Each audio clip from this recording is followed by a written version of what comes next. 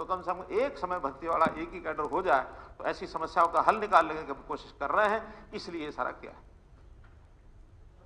ठीक है कि C C test it's a good step by the commission so for as इसमें आप रिफॉर्मेटिव कर रहे हैं, पर आपने नॉर्मलाइजेशन का जो प्रोसेस किया है, उसके बारे में ना एक्सप्लेन किया है और ये प्रेसेंटाइल जो आप, एक नया कहाँ से उसको क्या लाने की ज़रूरत थी, इस प्रेसेंटाइल में you are killing the merit आप जो सीईसी में कॉमन एलिजिबिलिटी टेस्ट में जो मार्क्स आते हैं, उसके बाद सोशो इकोनॉमिक के मार्क्स ऐड कीजिए, कोई दिक्कत वाली बात नहीं है, ये कुछ नहीं है।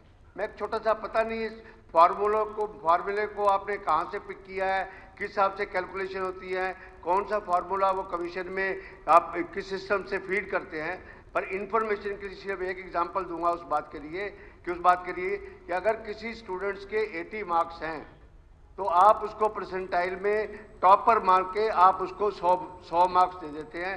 उसके बाद सोशो इकोनॉमिक की बात है। एक किसी की अगर चौसठ मार्क्स हैं तो आपका परसेंटाइल का पता नहीं क्या फार्मूला है कि उसको 99 मार्क्स मिल जाते हैं।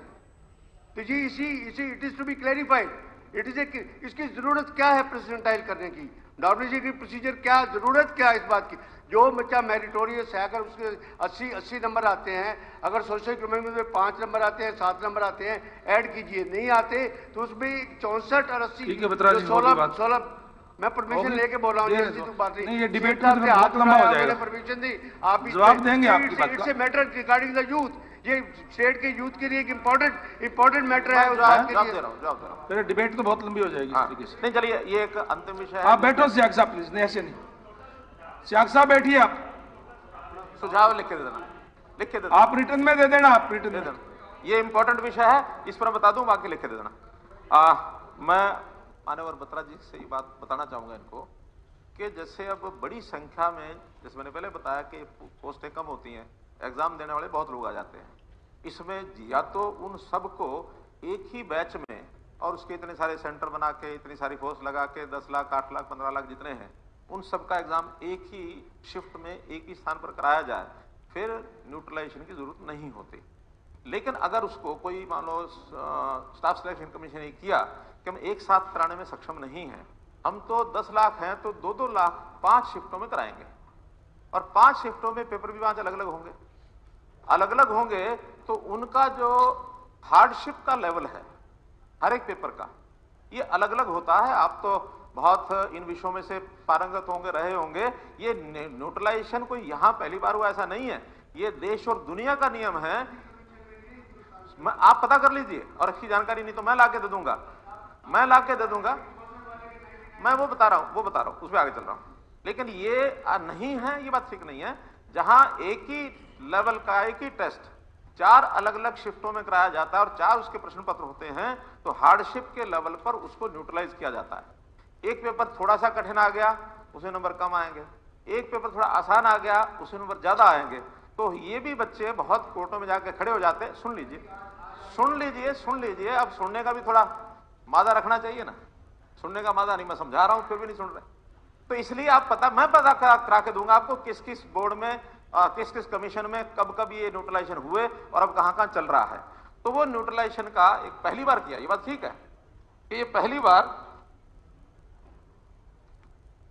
जेडब्ल्यू यूपीएससी में भी न्यूट्रलाइजेशन होती है। यानी ये तो ऑल इंडिया एग्ज़ाम है, इनमें भी न्यूट्रलाइजेशन होती है। तो न्यूट्रलाइजेशन नहीं होती, ऐसा नहीं तो और भी बोर्डों में बता देंगे लाके। अब उसको न्यूट्रलाइजेशन इसलिए करना पड़ता है कि आसान और मुश्किल पेपर आते रहते हैं। अब उसमें पहली बार ये किया, ये बात भी सत्य है। यहाँ कभी नहीं होगा। पहली बार किया तो थोड़ी उनसे चूक हुई। वो चूक भी स्वीकार है। जो फार्मूला, जो लगाना चाहिए था, वो किसी ने उनको गाइड कर दिया। जिसने गाइड किया, उनके यहाँ सोशो इकोनॉमिक नंबर नहीं होते।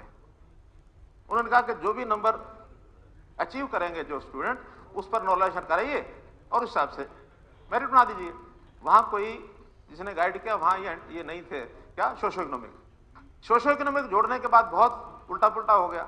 जब उल्टा पुल्टा हो गया तो फिर वो विद्यार्थी कोर्ट में गए। कोर्ट ने कहा कि नहीं, इसका ठीक रास्ता निकाल के लाओ।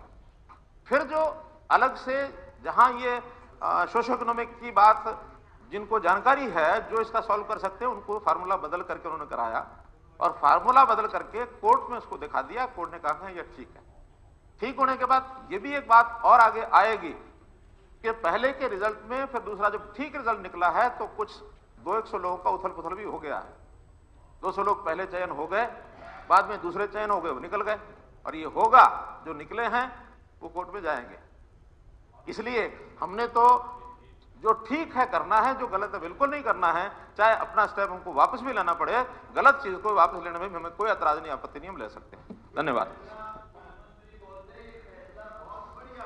धन्यवाद।